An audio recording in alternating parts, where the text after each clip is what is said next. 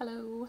So a short update video. This is actually an update from my previous video about the aloe vera shampoo or conditioner wash.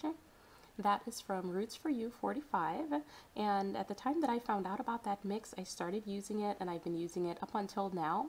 Um, almost every time that I wash my hair that's the mix that I use. It just works very perfectly for me. Um, everything in the mix is excellent. It's really simple and easy to do. And the reason I'm updating it is because um, I am freezing the mix now. In the past I didn't, um, but I used sort of two approaches with it. I would either use canned coconut milk or powdered coconut milk in the mix. I really prefer the canned version. It's thick, it's creamy, and the mix just feels a lot smoother and nicer but when I would use canned coconut milk, I would end up just using a little bit from the can and then the rest was wasted. So I transferred over to using the powdered version. I would just buy a box, keep it in a glass jar um, in the bathroom.